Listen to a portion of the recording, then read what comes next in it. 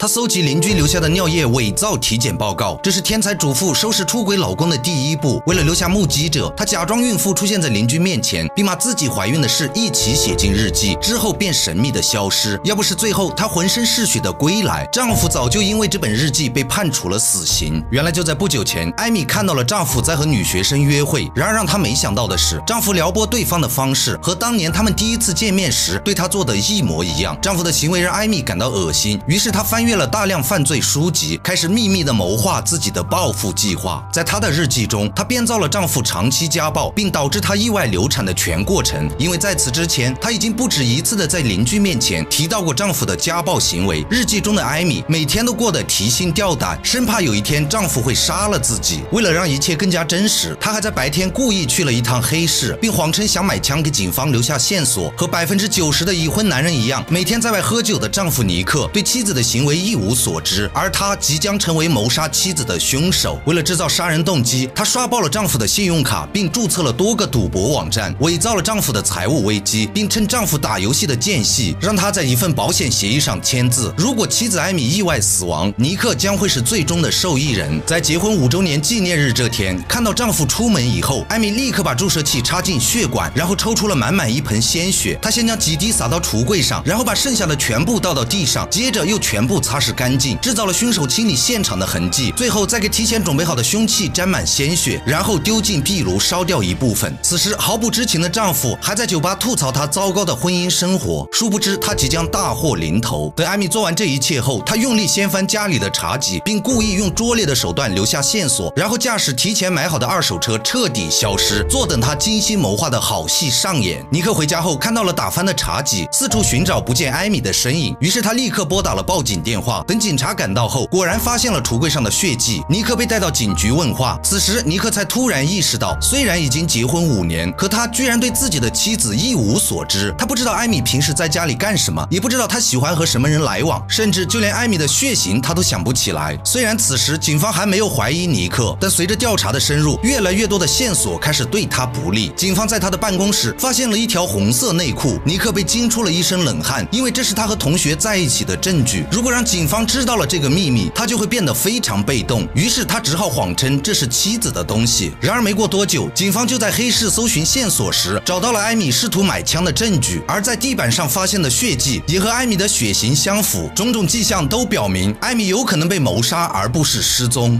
He may truly kill me. T.